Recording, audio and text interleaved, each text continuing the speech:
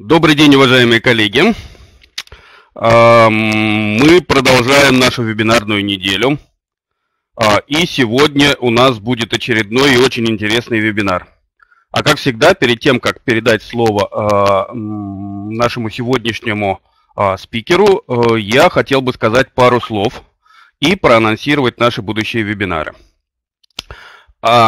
Э, вот в начале чата, и спасибо Владимиру, то, что он продублировал это, э, эту фразу, э, вы видите уже даже не только в начале, вы видите две важные ссылки. Одна из них ведет на наш на наше расписание, на наш сайт. Главная страница его это расписание.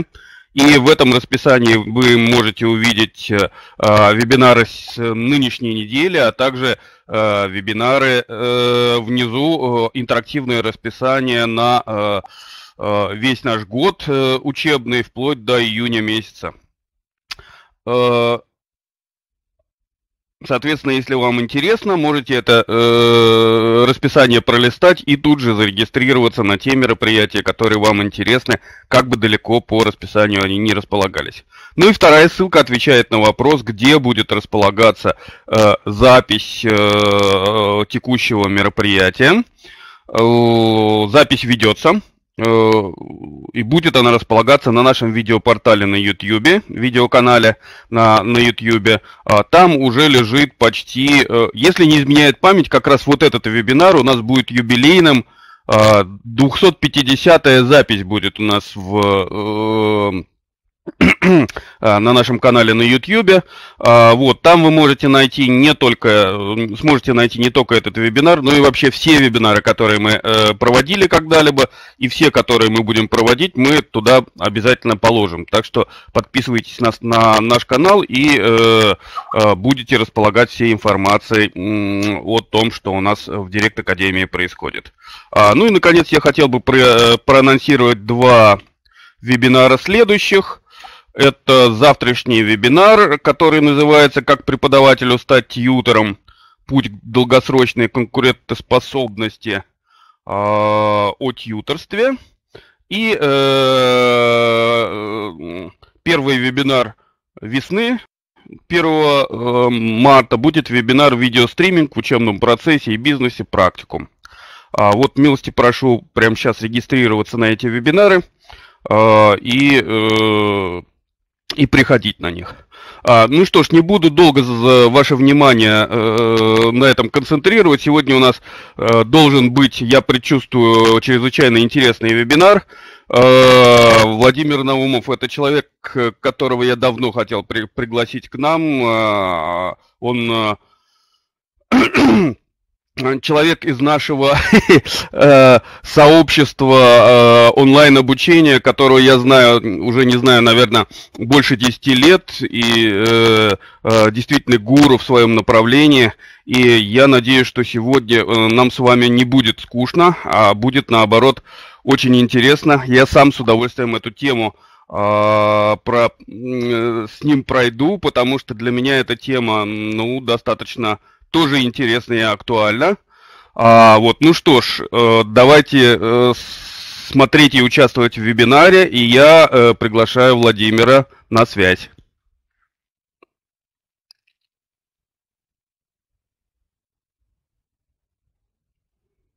Так, Володь, не слышу звука.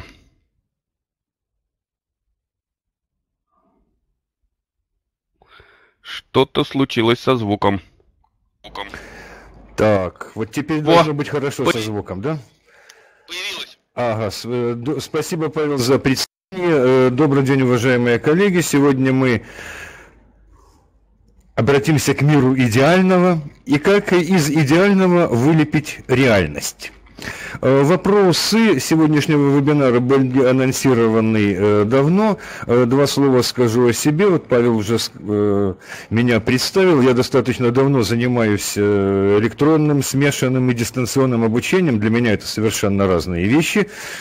Кстати сказать, вот, э, и достаточно давно, достаточно активно, и приходилось заниматься и в качестве разработчика, и в качестве преподавателя, и в качестве тренера. уважаемых коллег. Вот физически я нахожусь в Минске. Вот, надеюсь, у вас сегодня мороз и солнце, как и у нас здесь, наконец, в конце зимы. Вот. И мы э, с вами приступаем к работе, но сначала давайте представимся и познакомимся, кто мы и откуда мы. Напишите, пожалуйста, город, там, регион, в котором вы живете, и э, при помощи цифры или же при помощи э, буквы укажите, пожалуйста, э, кто вы, чтобы я представлял, э, кто из нашей аудитории вот, э, ну, я посмотрел в основном вузы и э, немножко корпоративного обучения у нас есть. Ну и надо полагать, что люди, работающие в системе повышения квалификации, тоже здесь присутствуют. Вот. Ну, пока вы отвечаете, э, уважаемые коллеги, вот на что я обратил внимание, сегодня много белорусов. Неужели белорусы просыпаются к смешанному и дистанционному обучению? Э, пока у нас достаточно э, тихо на этом рынке, к сожалению. Вот, только вот некоторые персонажи шумят. Ага, есть у нас и Краснодар, и Хабаровск, вот, э, коллеги, ну, вы можете э, продолжать, да, указывая, откуда вы и где вы работаете, а я, чтобы э, мой светлый образ не раздражал вас и не отвлекал,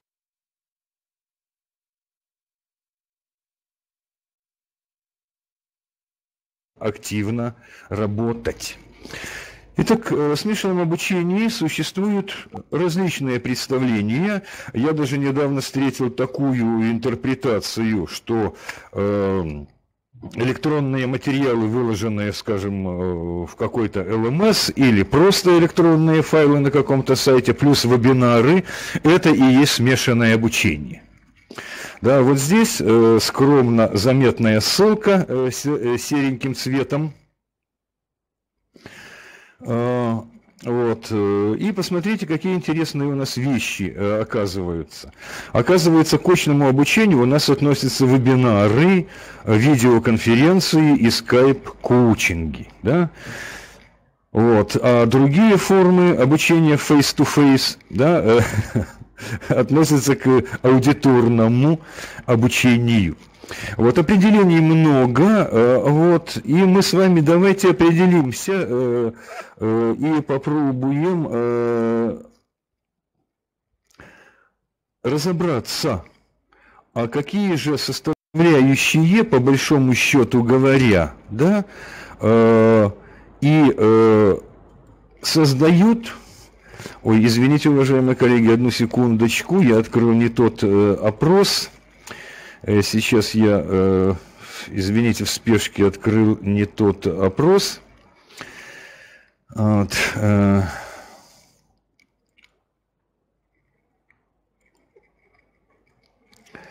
Итак, я запускаю опрос. У вас есть возможность внизу ввести и свой вариант ответа. И давайте мы с вами проголосуем. Виден опрос вам, коллеги? Ага. Э, пошли ответы.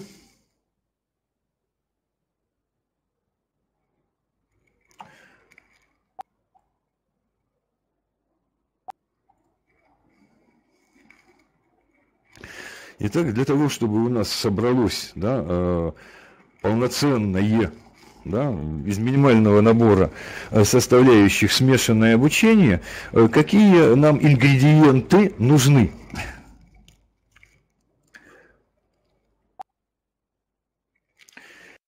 Итак, пока у нас впереди вопросы аудиторное, очное лицом к лицу, да, э, офлайн отключение, онлайн обучение, да, а, а также э, так, достаточно много ответа интеграции опыта обучения с преподаванием группового и самостоятельной работы, понятно, которая может быть и онлайн, и офлайн, и так далее. Ну что ж, голосование у нас идет не очень активно. К сожалению, пока, коллеги, пока мы голосуем, я постараюсь уложиться в час, а потом примерно полчаса у нас будет отведено для ответов на вопросы. Если таковые, конечно, э, будут возникать. Понятно, что мы э, с вами можем выбирать несколько вариантов ответа, или все, да, включая дополнительные. Так, так, ну пока лидирует у нас э, свой ответ и э, дистанционное сетевое онлайн-обучение. Да? Так, аудиторного у нас меньше, чем э, дистанционное. Да? То есть может ли быть смешанное обучение вообще без очки? Философский вопрос. да? вот. А может быть, не в этом-то все дело зарыто, на, на, на самом-то деле. Ну что ж, коллеги, э, я сейчас еще посмотрю свободные ответы. Вы можете э, продолжать голосовать. Так, ага, а свободных ответов у нас, извините, и нет. Это я не в ту строчку посмотрел. Итак, в лидерах у нас ответы. Дистанционное сетевое, а то есть онлайн-обучение, когда э, к другому участнику или какому-нибудь интерактивному ресурсу подключен ученик, да, э, вот, интеграция опыта обучения с преподавателем. Ага, появляются. А вот возможность ученика влиять на время, место, скорость и сроки обучения, да, э, получают у нас несколько меньше ответов. Но пойдемте дальше. Я, э, коллеги, э, закрываю опрос и обращаю ваше внимание, уважаемые коллеги, на то, что э, существует два взгляда на смешанное обучение. Обыденный который говорит о том, что смешанное обучение включает в себя аудиторное обучение и дистанционное обучение. Ну и соответствующая ссылка, она активна. Вы можете скачать э, по закладке ресурсы презентацию сегодняшнего вебинара и другие материалы, которые предоставил вам э, Павел Калиников и которые там предлагаю я вам еще некоторые дополнительные ссылки на публикации в интернете, на очень интересную книгу на мой взгляд, э, связанную с темой э, персонификации обучения. Итак, существует два взгляда на смешанное обучение. Обыденный и так называемый с легкой руки Натальи Андреевой. Многие из вас, я думаю, знают этого специалиста, очень популярного э, и известного в сфере смешанного обучения. И классическое. Так вот, смешанное обучение, да, в названное классическим да, э, госпожой Андреевой это совмещение обучения с участием преподавателя, с онлайн-обучением, которое предполагает элементы самостоятельного контроля учеником пути, времени, места и темпа обучения, а также ту самую интеграцию опыта обучения с учителем и онлайн. Так вот, э, Понятно, что определений может быть много, о терминах мы можем или можем не спорить. Э, по крайней мере, в рамках сегодняшнего вебинара я буду ориентироваться именно вот на это классическое э, обучение, определение смешанного обучения, то есть акцентировать внимание на то, что смешанное обучение, которое не включает в себя самостоятельную постановку целей, свободный темп обучения, да, э, время, место, темп обучения, выбор учи материала, какой учить, какой не учить, возможность сдавать э, промежуточные и итоговые испытания, когда это удобно ученику, это и будет смешанным обучением. А вот то смешанное обучение в обыденном понимании, которое Э, которое эти функции не предоставляет, эти возможности ограничивает или вовсе они отсутствуют, не является смешанным обучением в полном смысле. Вот. И сейчас я вас попрошу отнестись также, выбрав вариант ответа, один из двух, какой из данных подходов представляется вам более профессиональным, более обоснованным, более научным? Выберите, пожалуйста, вариант ответа.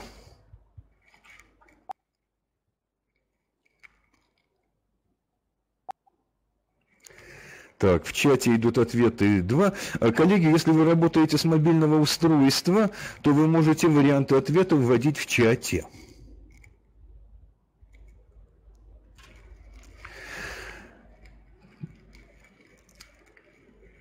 Так, ага, вот из э, 32 проголосовавших вот появилось, появилось первое согласие коллеги с обыденным обучением.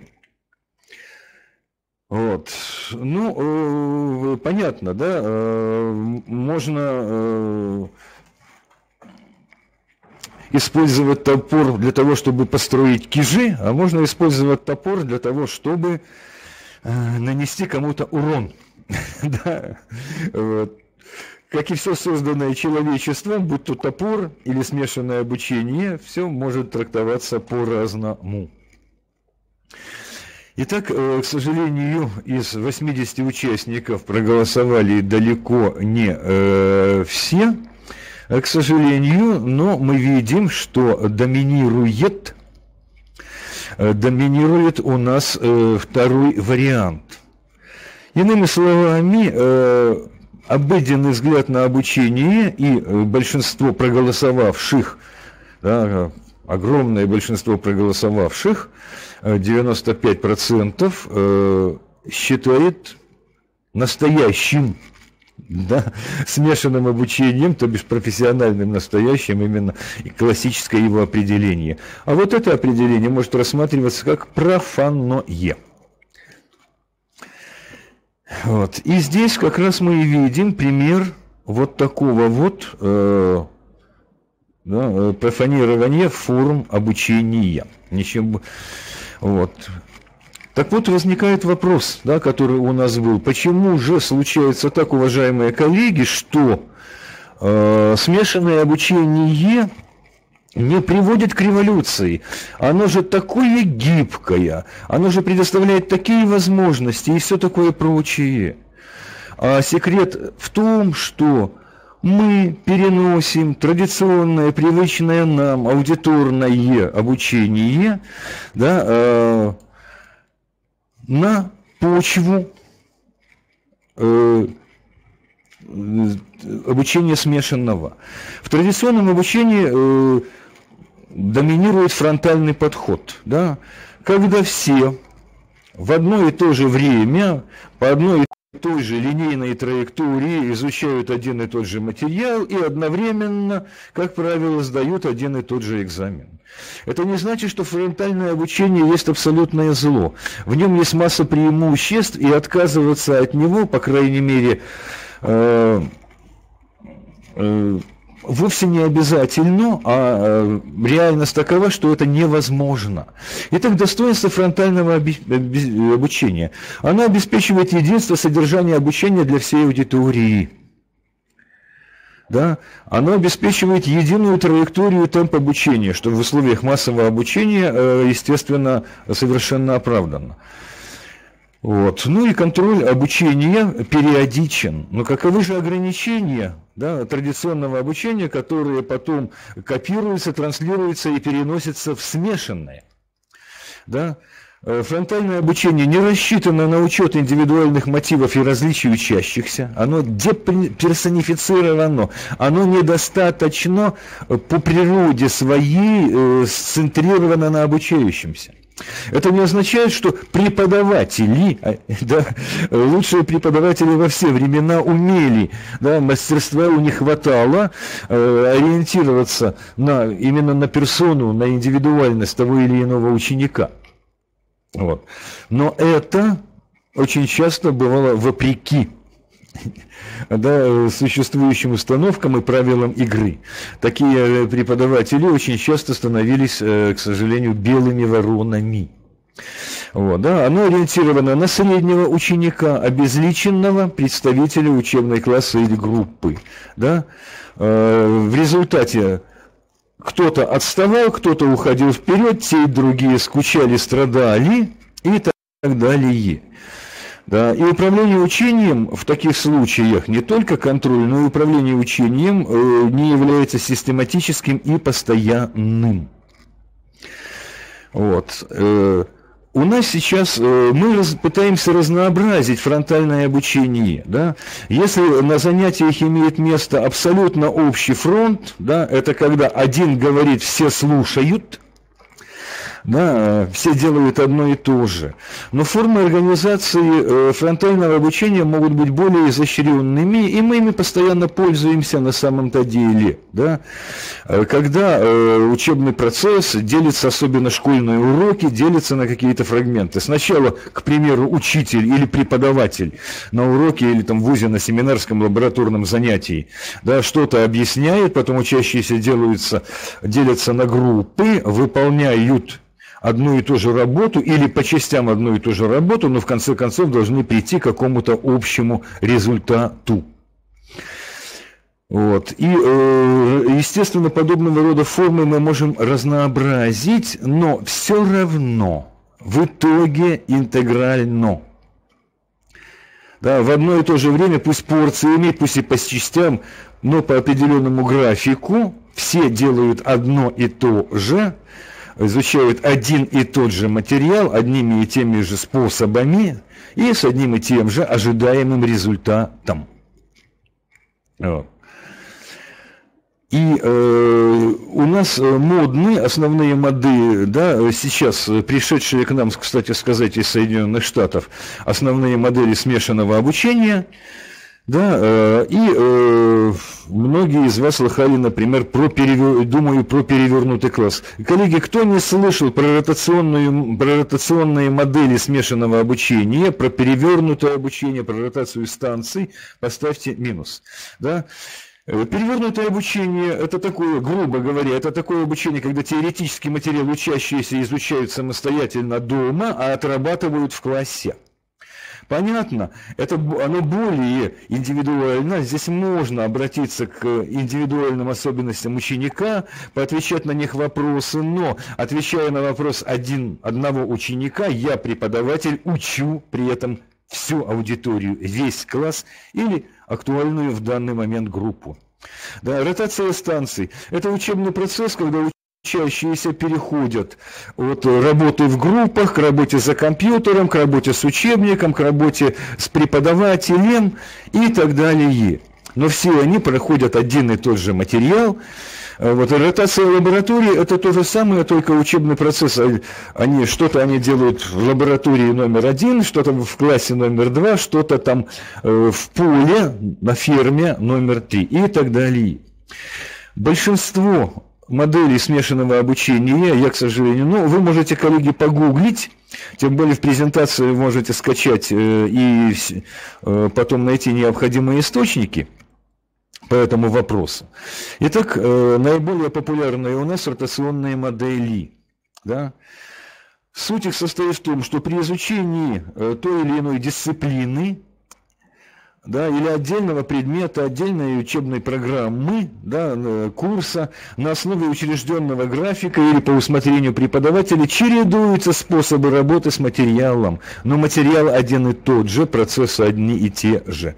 Хотя, конечно, э, э, такой учебный процесс более интересен. Как же нам выйти и сделать учебный процесс более персонифицированным, более ориентированным на конкретного ученика. Очень просто, казалось бы, перейти от фронтального обучения, вот ее особенности перечислены справа, да, к нефронтальному.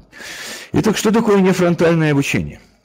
Нефронтальное обучение э, имеет место в том случае, когда учащиеся достигают разных результатов в разное время, в разном темпе, разными способами.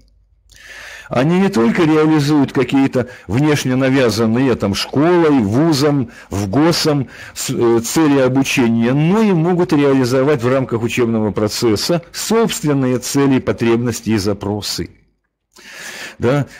Э, если э, в ходе нефронтального обучения ученики осваивают разные фрагменты содержания курса – да, в любом удобном им или по согласованным с преподавателем и тьютором порядкам, то э, в формальном, в фронтальном, простите, обучении фрагменты курса осваиваются одновременно. Да? В нефронтальном обучении э, аудитория работает в разное время и в разном темпе, вот, э, во фронтальном обучении аудитория работает в рамках заданных временных периодов, даже если это перевернутый класс или ротация станций. Одновременное начало и окончание работ над одним и тем же материалом э, в нефронтальном обучении носит случайный характер. Во фронтальном обучении начало и окончание конкретных работ, неважно какой это масштаб, курс, глава, раздел, параграф, страница, абзац – да, источник какой-то. Начало и окончание работ, как правило, предписано, предзадано, регламентировано. В нефронтальном обучении имеет место индивидуальная программа для каждого ученика. Во фронтальном – единая для всех программа обучения, которую, конечно, э, преподаватели э, высокого уровня педагогического мастерства могут э, разнообразить. В нефронтальном обучении на траекторию да, на время и темп обучения, это разные вещи, оказывают влияние базовый уровень подготовки ученика, его индивидуальные запросы и инициативы, вот, э, а также ошибки.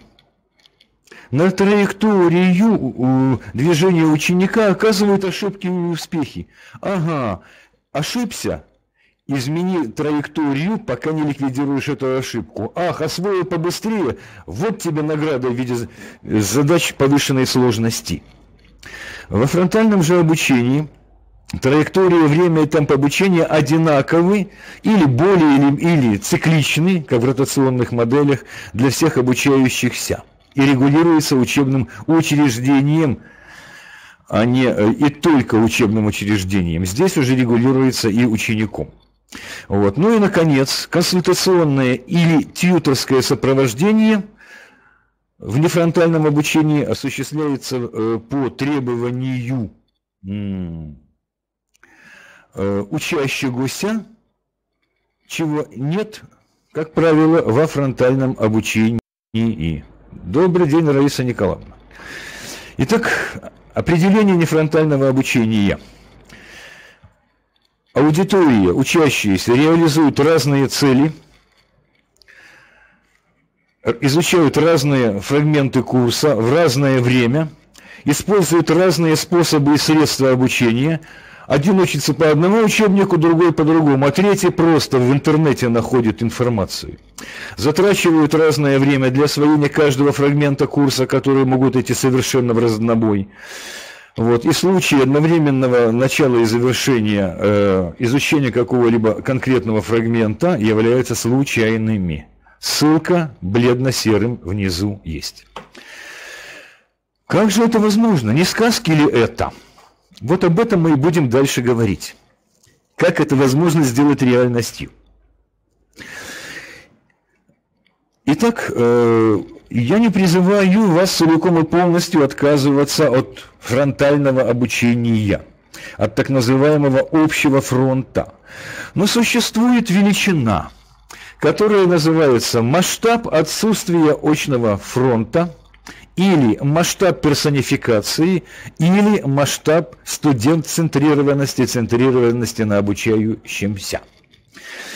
Итак, что такое масштаб отсутствия общего фронта, масштаб от, э, персонификации? Совокупность учебного содержания да, объем учебного материала, который изучается в конкретной аудитории в данное время не фронтально и называется отсутствием общего фронта, э, масштабом отсутствия общего фронта или масштабом персонификации, простите, вот пропустил букву. Вот. И масштаб персонификации может быть совершенно разных размеров. Да? Мы можем сделать э, персонификацию в масштабе отдельного раздела курса, четверти, недели обучения.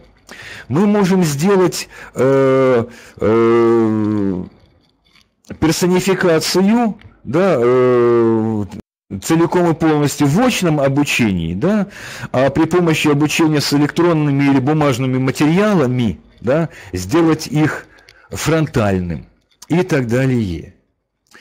И чем больше, чем больше величина масштаба персонификации, тем больше организация обучения носит ориентированный на учащегося характер.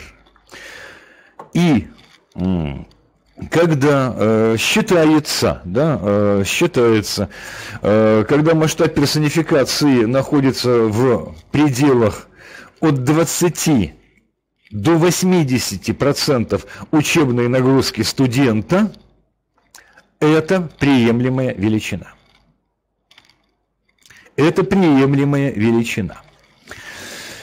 Вот, вот тогда обучение считается, когда он находится в этом диапазоне, да, от 20 до 80%, тогда речь идет о чисто смешанном обучении.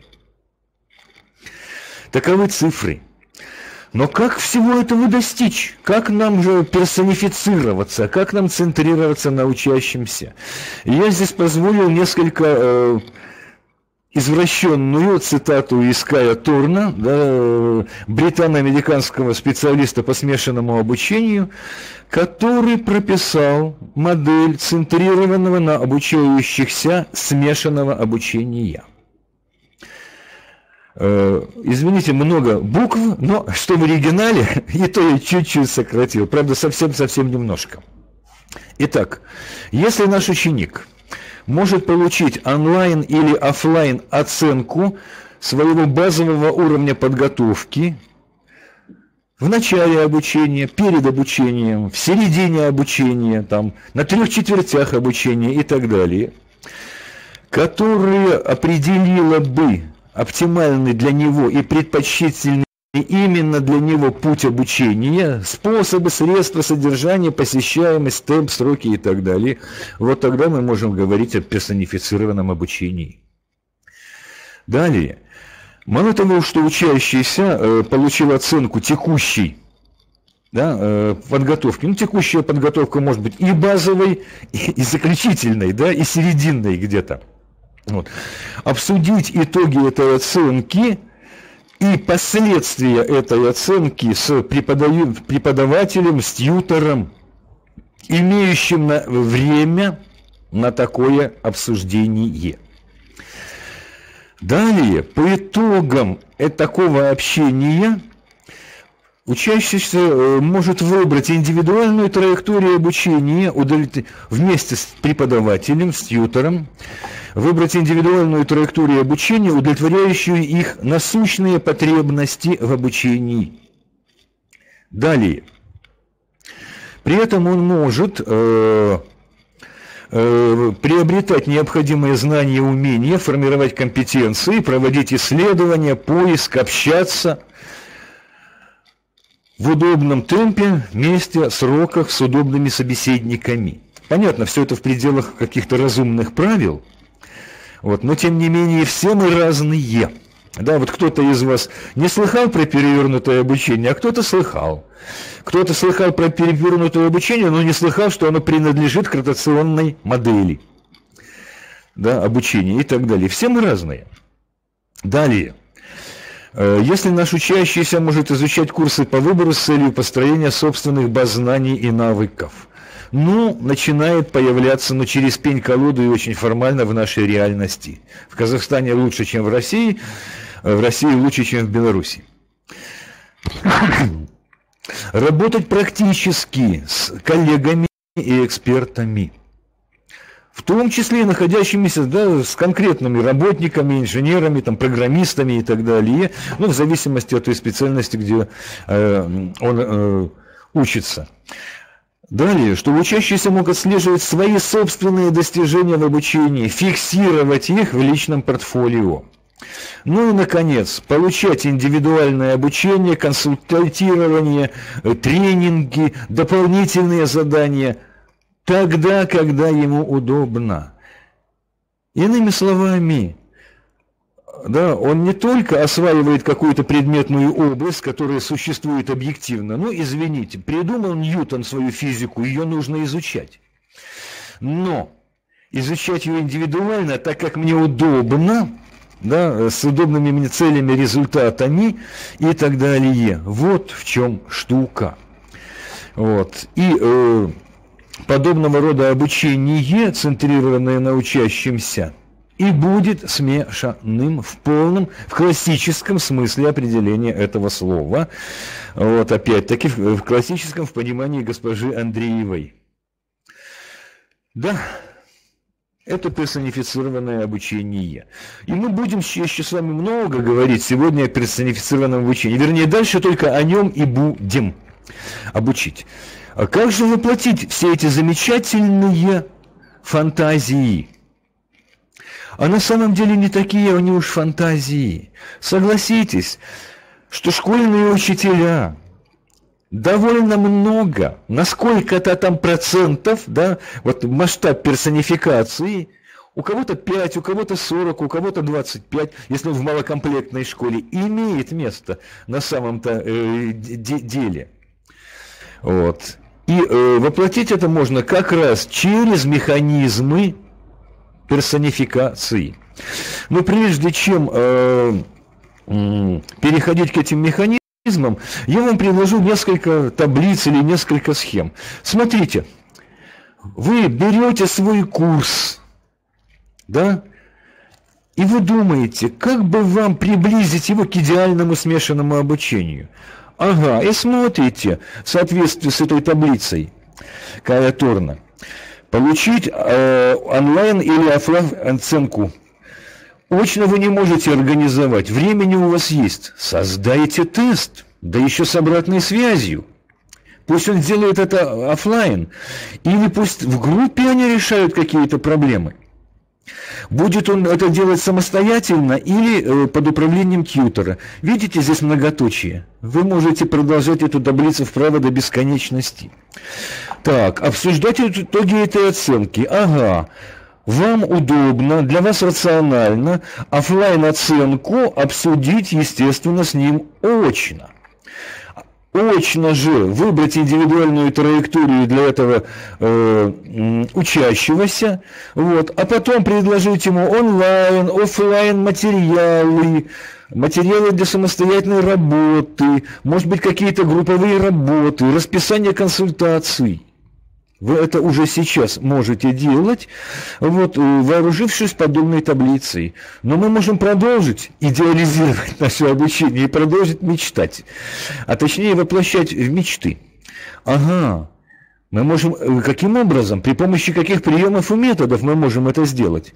При тестировании, да, мы можем э, провести оценку э, во время лекции нет, а вот э, во время претестирования у, э, там на тренажере можем.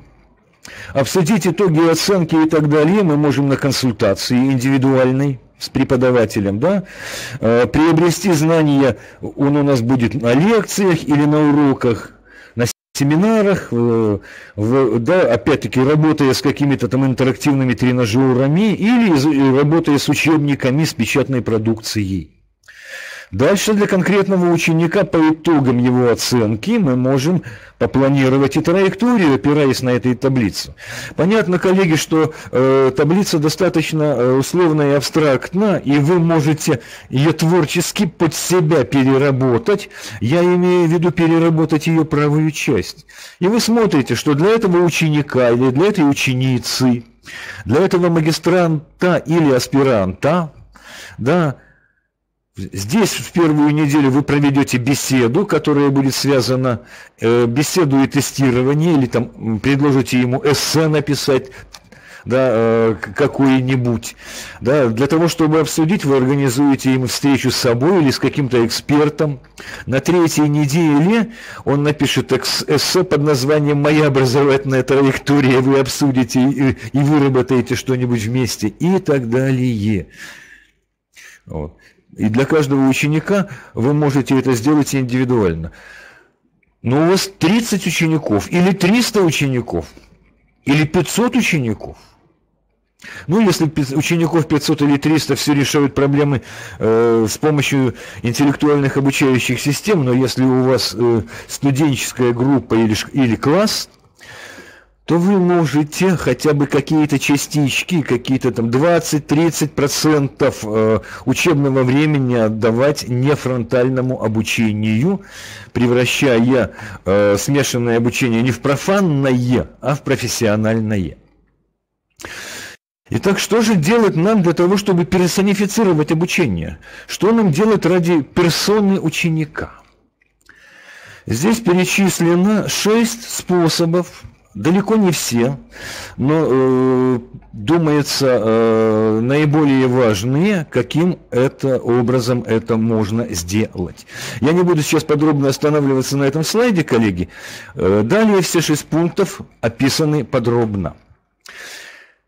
Но мы можем, мы можем создать среду для обучения, для не фронтального, а обучать фронтально. И, конечно же, э, в э, смешанном обучении, а смешанное обучение, да, поскольку оно связано с индивидуальным темпом, скоростью, задачами, последовательностью э, прохождения материала, гибкой динамически настраивающей траекторией, Смешанное обучение обязательно должно содержать не менее, ну вот 20% это норма в Соединенных Штатах. Норма, да, не фронтального обучения. Вот. Э, не нужно выхолащивать и помнить вот эти основные признаки нефронтального обучения. Итак, первое в том, из того списка – богатая среда обучения. Для того, чтобы смешанное обучение было персонифицированным, а не фронтальным. Мы должны создать богатую, разноуровневую и по уровню сложности, и по уровню обобщенности, абстрактности, и избыточную учебную среду. Обращаю ваше внимание, на образовательную среду я не замахиваюсь. Сейчас говорю только об обучающей, чисто дидактической среде, которая, естественно, является частью образовательной. Вот. Так вот, это богатая, разноуровневая э, обучающая среда, то есть материалы и средства обучения. Да, имеется в виду преподаватели, материально-техническая база, э, разного рода там симуляторы, тренажеры, э, оборудование э, лабораторных, там, химических, физических, электротехнических и так далее. И эта э, среда должна обеспечивать учащемуся возможность выбирать. Во фронтальном обучении ученику нет, у ученика нет выбора. А здесь он может выбирать из разных учебных материалов и работать с одними и теми же или с разными учебными материалами по-разному. При этом мы должны иметь в виду, что часть информации должна быть унифицирована, представлять базовые для усвоения э, той или иной предметной области знания. Да? А часть делать это более детально, более развернуто, на более глубоком или наоборот на более упрощенном уровне. Например, да, мы можем предоставить ученику выбор между аудиторными лекциями и видеолекциями. Хочешь ходи в аудиторию, хочешь смотри видеолекции. Очень популярно э, в тех же э, Соединенных Штатах целые университеты так работают, да? Вы можете предложить ему поработать с книгами наряду с лекциями, или вместо лекций, или с файлами какими-то, с тренажерами и симуляторами. Э, с играми с обратной связью, э, вопрос-на-ответными системами, электронными энциклопедиями или индивидуальным консультированием. А теперь, коллеги, я попрошу вас обратить внимание вот на эту серенькую планку, которая внутри, и ввести в чат соответствующий номер варианта ответа. В ваших, вот здесь и сейчас, в ваших учебных организациях создание богатой среды обучения нереально единица – уже реализована двоечка, частично э, реализуема двой, э, тройка, станет реальным через 1-3 года. Введите тройку. Ага, есть варианты 3. Оказывается, ну, 1-3 года, среднесрочная перспектива, ну, средняя и, и промежуточно-срочная, между средней и долгосрочной перспективой. Оказывается, вполне реально. Не такая уж сказочная эта вещь, уважаемые коллеги, э, судя по вашим ответам. И все в наших с вами, видите, у кого-то один год, у кого-то три года, у кого-то семестр, у кого-то полтора, ну, ну и так далее. Но... Э, Постепенно мы можем э, все больше и больше э, в рамки традиционного обучения внедрять неформальные вещи. Следующий пункт. Не пересекающиеся содержания. Обучающие материалы, да, э, а также э, содержание устных лекций и разные способы взаимодействия учащегося с этим содержанием – не должны дублировать друг друга ни по форме, ни по содержанию. В чем проблема нашего смешанного обучения тотально? Вот я работал в вузах Казахстана, Украины, России, Беларуси. Вот. Э, в чем проблема? Содержание устной лекции абсолютно тоже э, абсолютно тождественно или практически тождественно содержанию печатных материалов. Содержание автоматизированных э, тестов или там контрольных работ для самостоятельной работы абсолютно или почти тождественно содержанию промежуточных и итоговых испытаний. Ну кому охота учить одно и то же семь раз? Как же мы должны обеспечить эти непересекающиеся содержания? А очень просто. Устные или видеолекции не должны повторять друг друга. Да? Электронные обучающие материалы не должны повторять устных. Они должны взаимно дополнять, уточнять, развивать друг друга, поддерживать друг друга. Вот. И поэтому э, чё, можно четко, вот перевернутый класс, теорию учим дома, да, практически работаем в классе. То же самое э, очень на многих инженерных специальностях или медицинских специальностях в наших вузах и так реализуется. Но у ученика должен быть выбор, какие из материалов и какие способы и источники их изучения выбирать. Итак, уважаемые коллеги, я пишу номер этого слайда, 23. То же самое. Введите, пожалуйста, цифру соответствующую. Нереально, реализовано, частично реализовано. И реально через 2-3 года. Ага, вот видите, у кого-то это уже даже реализовано. Здорово. Оказывается, не так черт страшен. на самом деле совсем черт не страшен. Нужно просто время и работа, ну и, конечно, правильный менеджмент, чтобы потом э, частично реализуемое или реально реализованное или, или реализуемое через 1-3 года не вышло боком ни учебному заведению, ни конкретному преподавателю.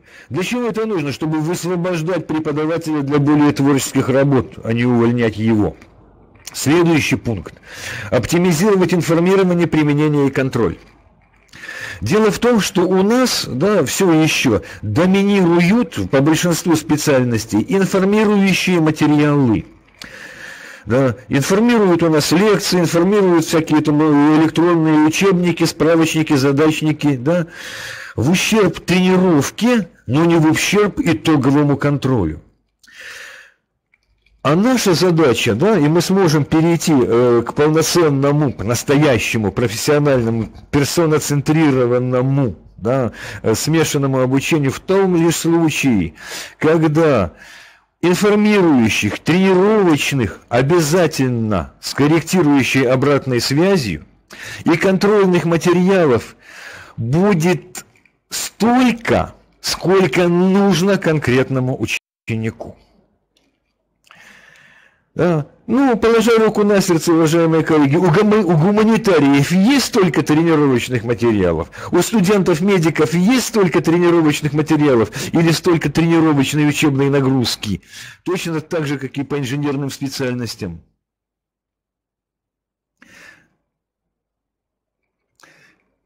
Так, главная эффективность достижения нужного уровня освоения, который знает преподаватель и ученик. Вот. Э, а если ученику нужно больше, чем знает преподаватель? Итак, коллеги, давайте посмотрим, насколько оптимальны по объему, да, по доступности э, ваши э, комбинации ваших информирующих, применяющих и контролирующих материалов. И может ли ученик прибегать их тогда, когда ему это нужно? Вот, Юрий Валентинович, я знаю, с контролем у вас все прекрасно. И это есть хорошо. Но у нас будет еще один пункт, как правильно использовать контроль, чтобы контроль не стал э, пугалом для учащихся. Да я знаю, что не только с контролем, но начинали это вы с контроля и абсолютно правильно сделали. Начинаем, коллеги, все это делать с чего проще. Вам проще сейчас создать необходимый объем контролирующих материалов. Создавайте их. А мне удобнее начинать с тренировочных, потому что мне так хочется, имею право. Или наоборот, мне хочется контролирующих, а вам больше хочется тренировочных. Ну, так организуйте, Николай Васильевич, учебный процесс так, чтобы они этого хотели. Вот. Для этого поставьте нижнюю планку. Проведите предварительное тестирование. Вот я конкретно делал это так. Проводил те предварительное тестирование и говорил, о, Ванечка или Машенька, прекрасно. Я чувствую, вижу, знаю, ты продемонстрировал, что ты можешь учиться, ну, у нас в Беларуси десятибальная система не ниже, чем на 7. Для тебя существуют отметки 7, 8 и 9. И 2. Вот. 5 и 6 ты способен учиться на 7. 5 и 6 не считается. Немножечко своевольничал, но, в принципе, такое возможно. И так, как видите, и здесь не так страшен этот черт. Но у нас, как правило, дефицит тренировочных заданий с корректирующей полноценной обратной связью. След... Вот. Далее, мы должны обеспечить полноценное управление учением. Да? Собственно говоря, преподаватель только и тем должен заниматься, что управлять учением, а не знание транслировать. Вот, и существуют, здесь перечислены основные модели управления учением. Бывает замкнутая модель обучения, управления учением, простите, которая постоянно обеспечивает информацию и преподающих, и учеников об их успехах и неуспехах по поводу каждой единицы учебного знания.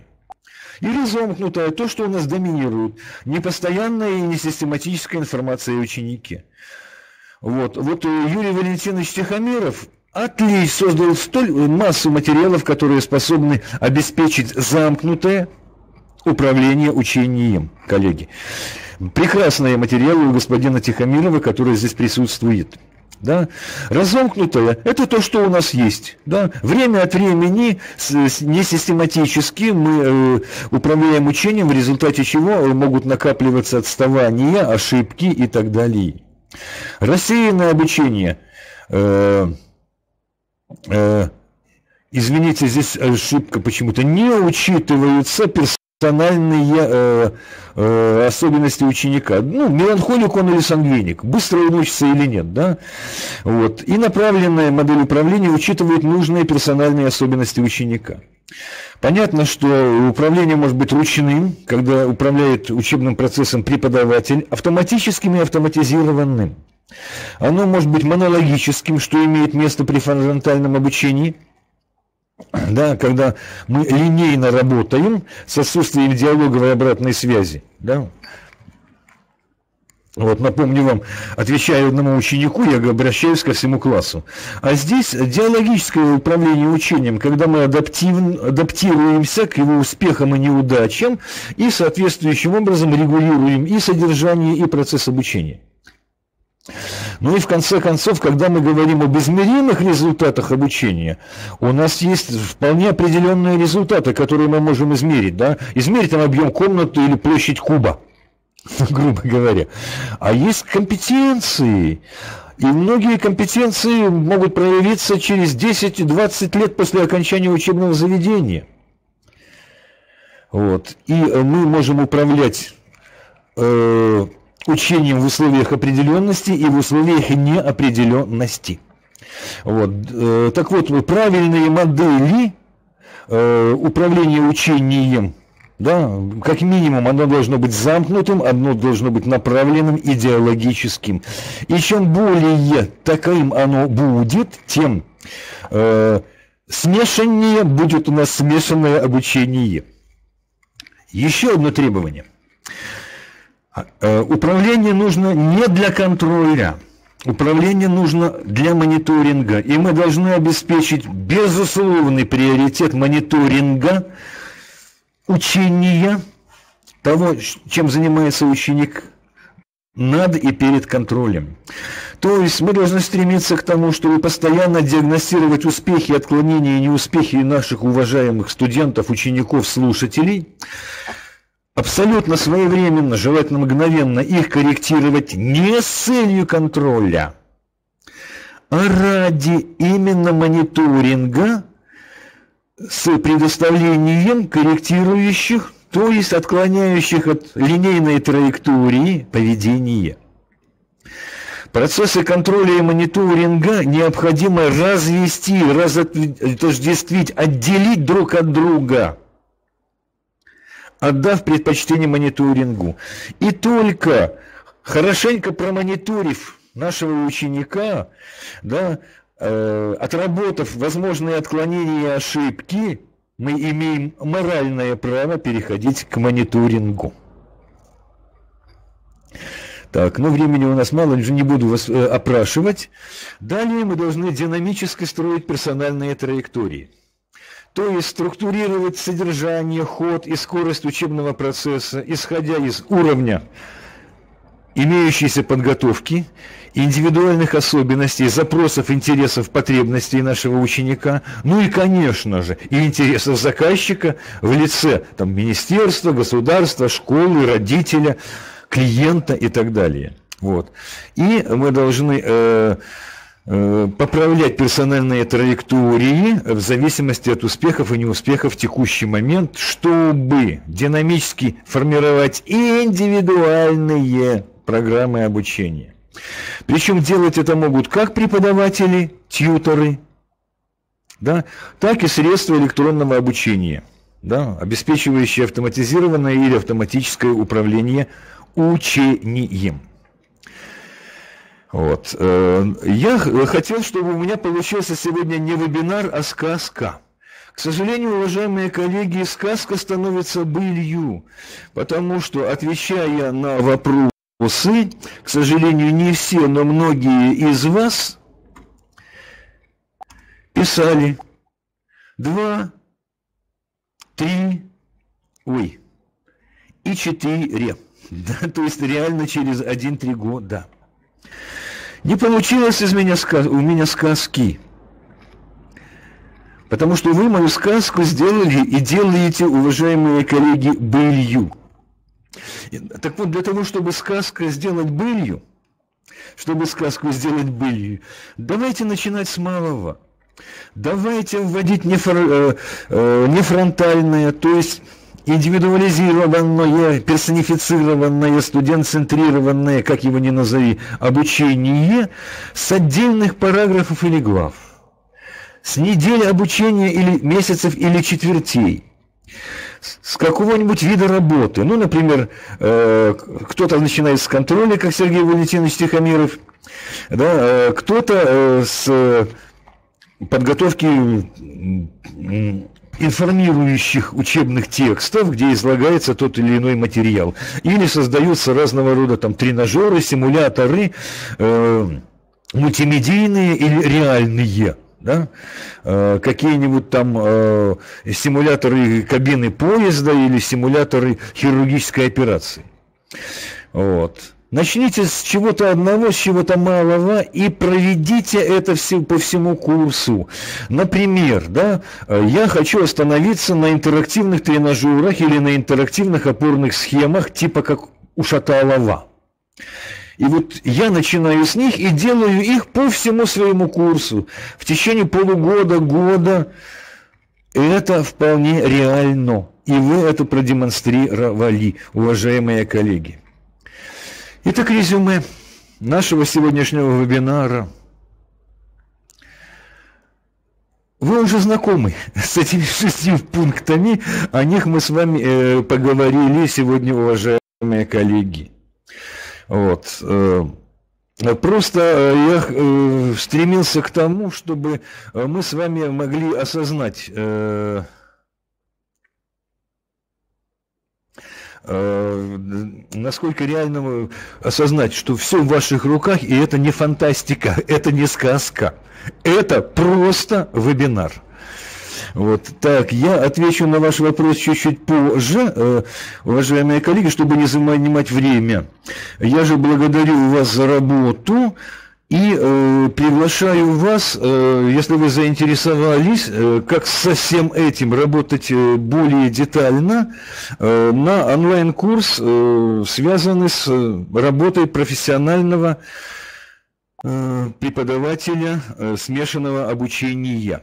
Вот здесь основные, основные темы курса изложены, а в, ресур, в ресурсах э, курсу да, э, вы можете скачать и программу курса, и содержание сегодня, и презентацию сегодняшнего вебинара, и ссылки, которые выложил, а которые э, на YouTube э, компании Direct, э, на канал компании Direct Media, можете воспользоваться. И там есть ссылка на книгу, которую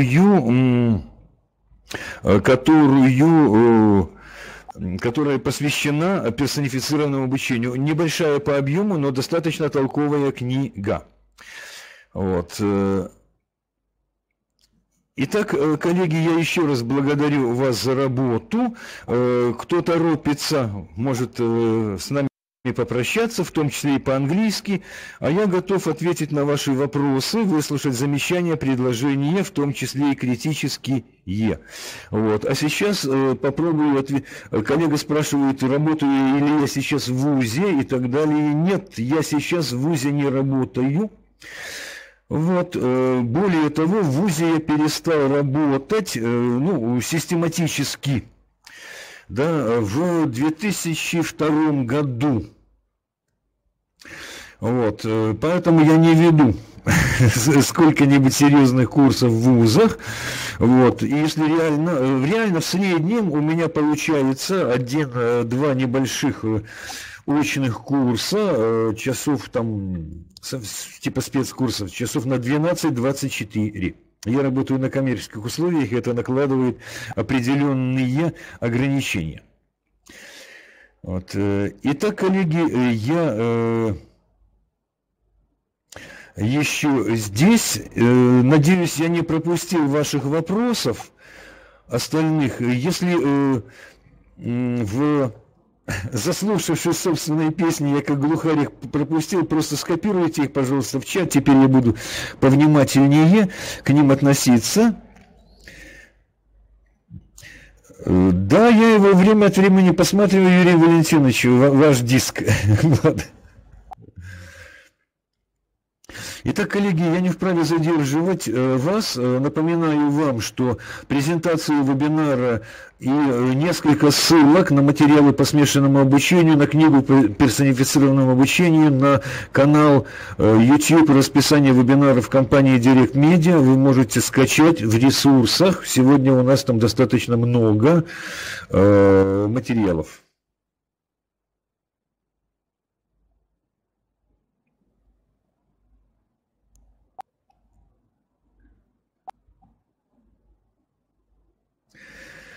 Ресурсы. Значит, э, иконка ресурсы, коллеги, находится выше презентации, э, правее смайлика. Вот наведите на иконку правее смайлика курсор мыши, показать ресурсы, нажмите на нее, да, и вы видите э, ресурсы, которые вы можете скачать, да. Э, лучше обратиться к нижней части экрана, общедоступные ресурсы, подведите курсор к, э, к иконке перед э, названием файла. Если эта иконка изображает дискету, нажмите «Скачать». Вот, а если это ссылка, нажмите на иконку ссылки, она такая круглая, откроется в новой вкладке этот ресурс, и вы можете сохранить у себя адресную строку. Спасибо, коллеги, за внимание, э, за э, то, что посетили нас, э, пришли к нам. Вот. И надеюсь, мы еще с вами можем встречаться, потому что сегодня в списке также были коллеги, с которыми мы э, давно вза взаимодействуем, э, что особенно приятно. Вот, со многими из них мы развиртуализированы, со многими нет.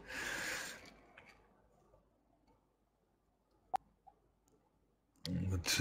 Итак, коллеги, если у вас вопросы, замечания, предложения, идеи, жалобы, все, что сочтете нужным.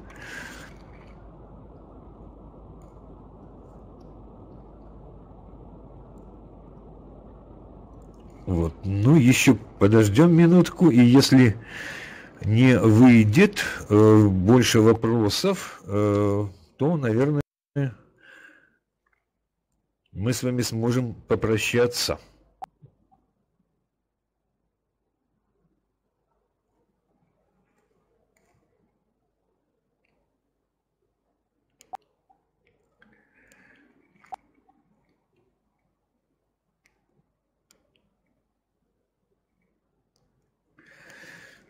Просто действуя шаг за шагом, вот, мы можем э,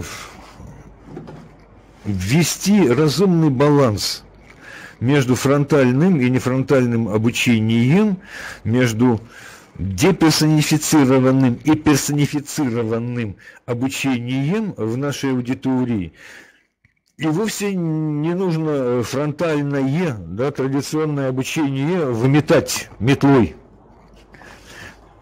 Да, э, просто нужно сбалансировать то и другое, найти э, ту, ту, то, то, то, золот, то золотую не середину, то золотое сечение, э, которое обеспечит необходимый баланс между общим и персональным, да? между наукой и технологией, практикой, работой и выполняющим ее человека.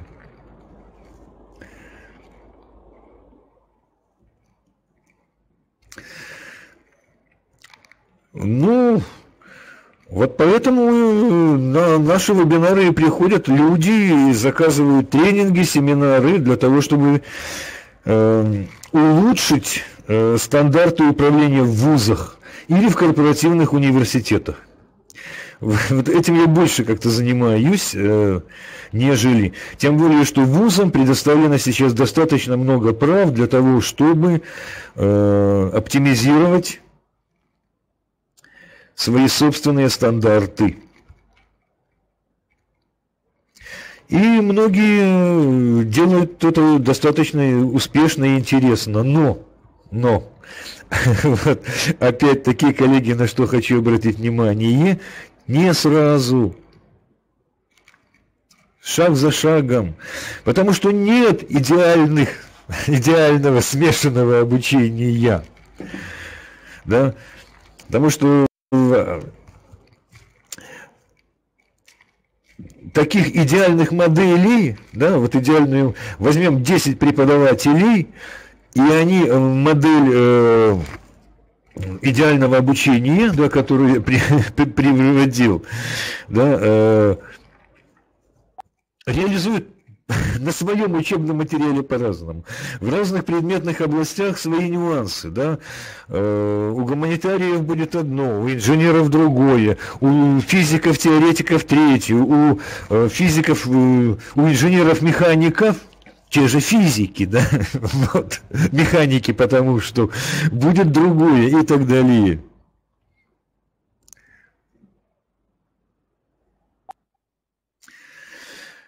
Ну, а, а вот это стандарты управления, Софья Владимировна. Вот. Э, и э, далеко не, все, далеко не во всех и не, и не всегда это системно, но есть абсолютно системные вузы, вот, в которых это совершенно системно.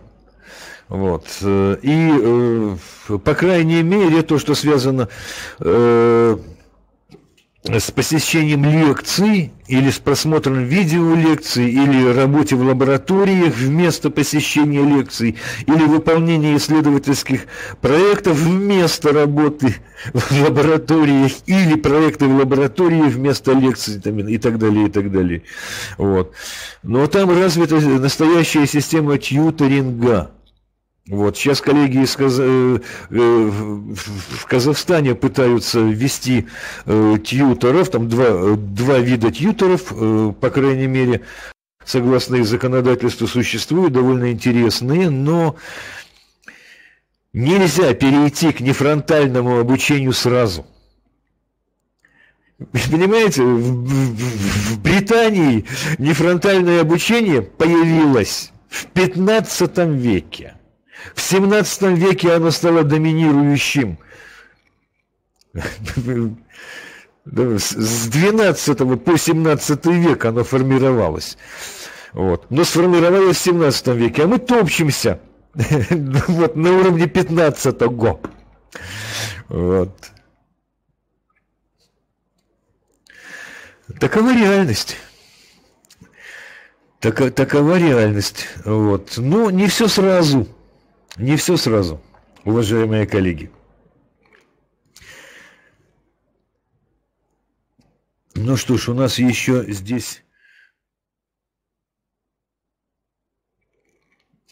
Да, в 90-е годы э, инициативные вузы, инициативные э, пользовались а это потому, что э, есть фронтальное обучение, а есть фронтальное управление, да? Помните, как там у Грибоедова, Фельдфебеля Вольтеры или в министра образования и науки. Так еще и Фельдфебель должен быть квалифицированным. Потому что Фельдфебель, Фельдфебель рознь, ну и так далее. Вот. Ну, уважаемые коллеги, э, благодаря высокой конкуренции мы будем двигаться, мы будем, э, отставая, догонять, но что-то будет э, делаться, если мы не хотим э, вовсе оказаться на задворках истории. Так, насколько я понимаю, вот э, Павел Юрьевич, э, надеюсь, здесь. Павел Юрьевич, э, если вы здесь, отзовитесь, пожалуйста, касательно сертификата. Вот, э, потому что я не в курсе. Насколько я помню, компания Direct Media э, самостоятельно э, и бесплатно высылает сертификаты.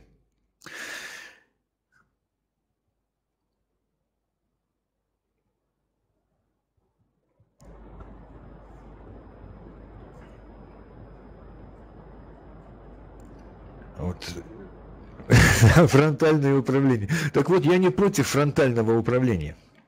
Но фронтальное управление, как и фронтальное обучение, должно оптимально, сбалансированно сочетаться с э, должно сбалансированно э, сочетаться с э, нефронтальным, да, баланс информирующих, тренировочных и контролирующих штук. Да? Но здесь организационных, обеспечивающих процессных и контролирующих штук да, должен быть. На самом-то деле, э, да, вот, вот это вот, собственно говоря, ну, не в чистом виде, да, но, по крайней мере, навеяно кибернетическим подходом к обучению. Вот эта вот схемка. Вот. И э, парадокс состоит в том, что чем фронтальнее, да, э, чем фронтальнее, то есть чем разомкнутее, чем рассеяннее, чем ручнее, чем монологические обучение, тем оно неуправляемее. Вот, понимаете? Управляется золотая середина. Вот, а, а управляются не все. Вот. Не индивидуально, да, управляется стадо, толпа, да некая общность. Ну, а в стаде всегда есть вожаки, а есть кто-то э, копыт, копытца подвернувший. Вот. Или прихворавший. Ну и так далее, и так далее. Персонифицировать надо. Вот. Ну что ж, коллеги, давайте так, еще минут другую жду вопросов, и если их не будет, буду с вами прощаться.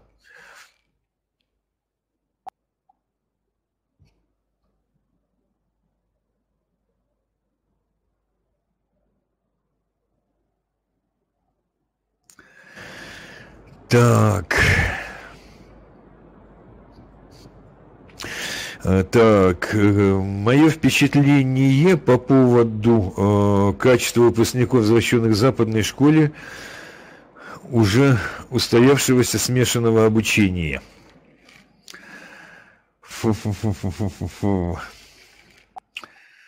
ну, вы знаете, э, я, честно говоря, специально вот этим не занимался. Впечатление эта штука такая э, достаточно субъективная, но смешанность э, состоит в чем? Да, что э, в аудитории да, работает одно лицо, да, э, материалы учебные, да, э, бумажные и электронные учащиеся изучает э, как бы самостоятельно, а управляет его учением третье лицо под названием тьютер. И тьютер не проверяет его знания, тьютер проверяет его процессы. Да? Вот. Успел, не успел, вовремя, не вовремя, чем тебе помочь, что улучшить, что ухудшить, что добавить, что убрать. Вот. И э, главное, э, там существует нефронтальная культура – вот, вот в чем дело. Там другие ценности образования, другие, другая степень свободы да, социальной, нравственной, духовной, исследовательской, интеллектуальной свободы. Вот, да. Там э, выше ценится вот э, уникальность и индивидуальность человека, нежели э, его выстраивание во фронт. Вот. И говорится, ты можешь делать все – выполнив фронтальную часть. Вот обязательную фронтальную часть. Выполни, справься, сделай свое дело как нужно. И это не подвиг. Да? Для, для нашего работника очень часто он сделает как нужно, как должно, как правильно, и это подвиг а сделать как нужно, как должно, как правильно, как нравственно, законно, технологично – это норма. И поощряется человек не за выполнение нормы, ну, вот, а за перевыполнение, за ее совершенствование и так далее. Вот в чем разница.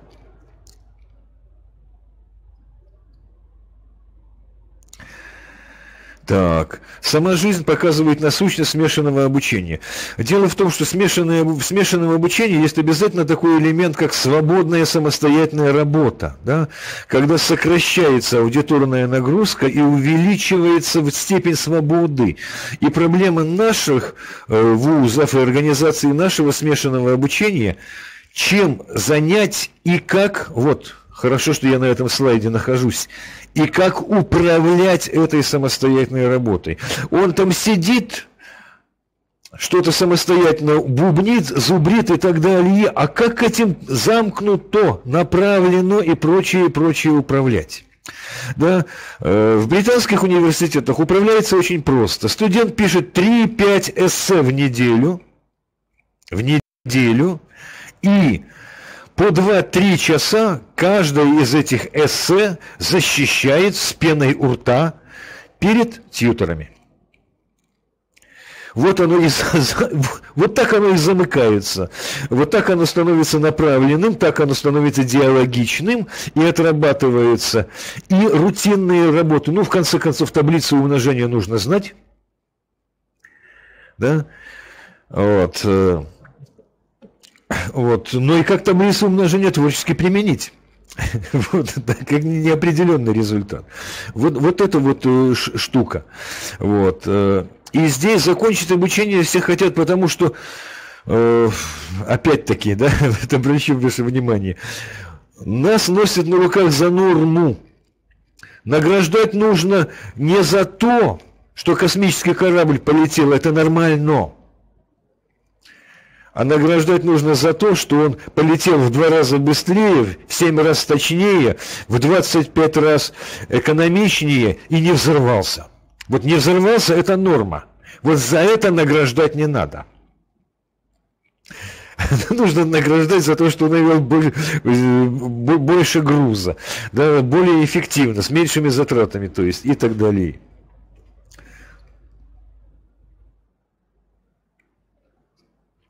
Приходит человек из ума и пересчитывает студентов на лекции.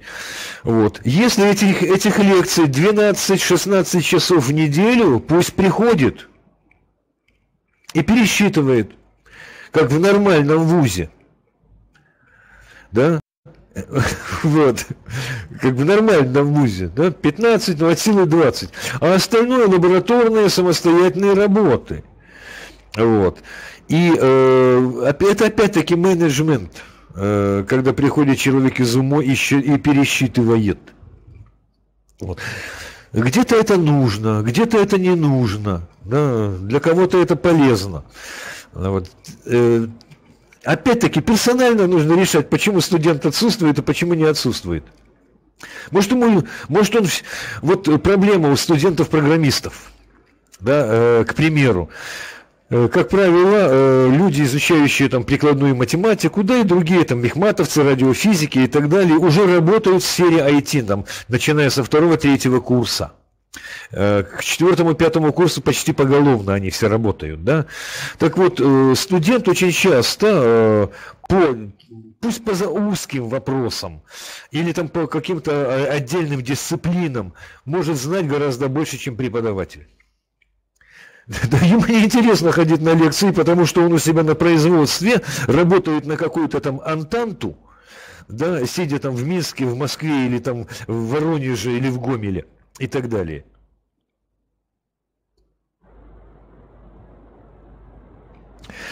Так, э, а есть такое, что крупные западные вузы имеют право для себя несколько изменять образовательный стандарт.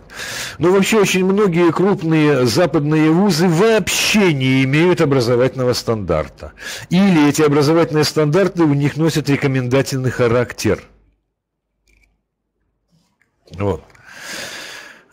Э, ведь студенты э, в рамках смешанного обучения могут выбирать разные курсы. На Западе и в условиях очного обучения они выбирают разные курсы.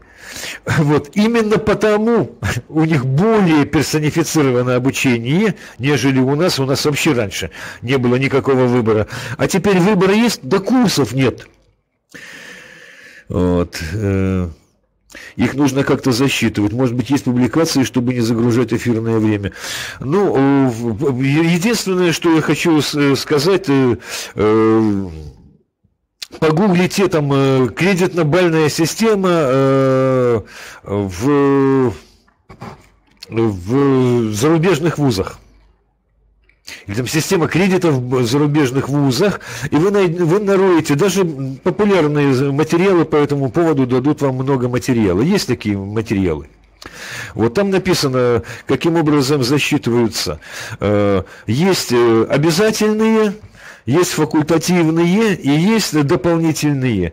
Да, я, э, учась на факультете искусств, да, имею там э, одну-две обязательных дисциплины в семестр, э, там две-три э, по выбору, и могу еще ходить на факультет биологии там, э, и слушать, э, не, не знаю что там, нейробиологию. Потому что мой диплом будет там э, автоматизация творческих процессов или там автоматизация художественного творчества. Так, ну что ж, коллеги, наше время уже и вовсе истекает.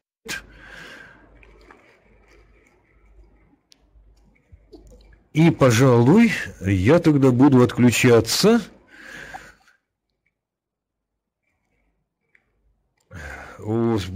Создание смыслов, ну, очень просто. Очень просто, да, э, воспользоваться какой-нибудь э, э, технологией, методикой или парадигмой обучения, работающей со смыслом.